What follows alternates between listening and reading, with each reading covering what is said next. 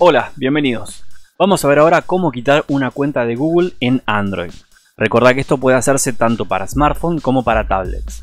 Antes quiero avisarte de que la cuenta de Google en Android es de especial uso, es decir, para poder utilizar los dispositivos con Android vas a requerir tener cuentas de Google. Así que en este caso vamos a quitar una, pero lo ideal es que siempre por lo menos tengas una cuenta funcionando. Así que si tenés más de una cuenta activa, que es lo ideal si querés quitar alguna de las cuentas, no hay problema en este caso. Pero si solo tenés una sola cuenta en el dispositivo con Android, deberías ver la posibilidad de agregarle otra como para reemplazarla. Si no, en caso contrario, o sea que quieras quitarle la cuenta, la única cuenta que tiene de, de Android, es decir, la única cuenta Google que tiene en tu dispositivo Android, lo recomendable tal vez sería formatear el teléfono directamente y a la hora de volver a instalar todo, ahí ubicas o pones tu cuenta Google nueva en la cual querés que este dispositivo pueda funcionar.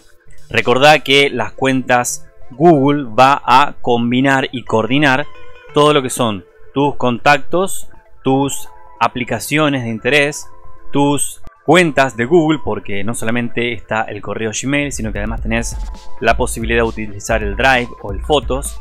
Y realmente esto es muy importante porque considera que tu cuenta de Google, por ejemplo, cada vez que sacas una fotografía, esa fotografía queda guardada en el dispositivo localmente como también en la nube gracias a Google Fotos. Entonces, al desvincular o quitar una cuenta en Android, lo que va a estar pasando es que no vas a poder tener acceso, por ejemplo, a las fotos que estuviste sacando hasta ese momento. Así que te recomiendo que o hagas una copia o te copies la cuenta y contraseña en algún lugar para después ingresar desde otro dispositivo y poder recuperar esa información o tal vez colocar tu cuenta Google en otro dispositivo con Android.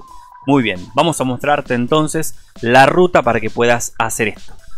Una vez que estás en tu dispositivo, digamos que estás en tu teléfono o tablet, para el caso es lo mismo, vas a deslizar esta persianita, ¿sí? así hacia abajo, y vas a encontrar esta tuerquita, que está acá arriba a la derecha, que es las configuraciones. Voy a entrar acá. Y acá vas a encontrar varias opciones o alternativas, dependiendo a veces del tipo de dispositivo, es decir, la marca del dispositivo, tanto si es un Motorola o un LG o un Samsung, pero siempre la opción va a ser igual o similar. En este caso, donde figura la opción personal, vas a encontrar que dice cuentas, dice Google y otras opciones más. Yo voy a ir acá donde dice cuentas. Fíjate, acá están las cuentas que están vinculadas o sincronizadas con este dispositivo. Así que acá donde yo te digo que deberías añadir una cuenta antes de quitar, en el caso mío, por ejemplo, que tengo una sola cuenta, ¿sí?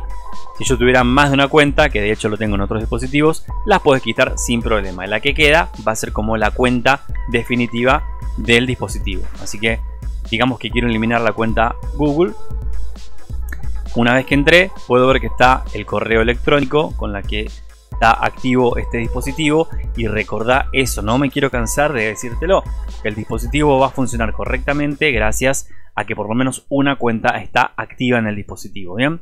En este caso tengo estos botoncitos que es para sincronizar las opciones, por ejemplo calendario, contactos, datos personales, pero para eliminarla tengo que venir acá a los ajustes de arriba a la derecha y pedirle entonces quitar cuenta.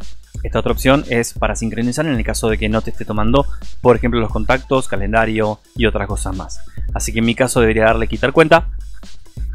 Y acá, fíjate lo que dice. Si quitas esta cuenta, se van a eliminar todos los mensajes, contactos y otros datos del tablet. Efectivamente, los datos de la personalización, tanto de aplicaciones y demás cosas que te contaba antes. Así que cuidado al momento de hacer esto.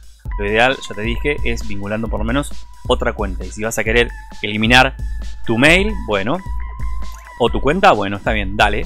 Pero lo ideal sería inclusive formatear todo el teléfono, así no solamente te aseguras que eliminas la cuenta, sino que además vacías todo el teléfono y no queda ningún rastro de tu cuenta anterior. Así que en este caso le damos quitar cuenta y ya estaría.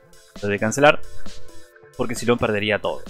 Así que en este caso vas a encontrar acá la opción de poder quitar la cuenta de Google en Android y de esta forma tan sencilla vas a poder desvincular los mails o cuentas Google que quieras de tu dispositivo.